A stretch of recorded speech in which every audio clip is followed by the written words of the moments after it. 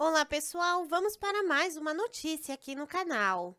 Mas, antes de mais nada, é muito importante que você se inscreva no canal, ative o sininho de notificações para não perder nenhum de nossos vídeos. Além disso, pedimos a vocês que deem um joinha para melhor divulgação de nossos vídeos para outras pessoas. Sem mais enrolação, vamos para a matéria.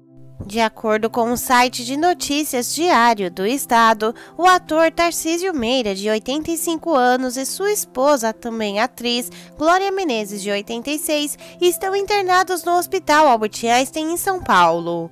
O casal, casados desde 1962, foram diagnosticados com Covid-19. A assessoria de imprensa do casal afirmou que Tarcísio precisou ser entubado, enquanto Glória apresenta um quadro mais leve da doença. Ambos já receberam a segunda dose da vacina contra a Covid-19 em março deste ano. Para ver a matéria completa, clique no link da descrição.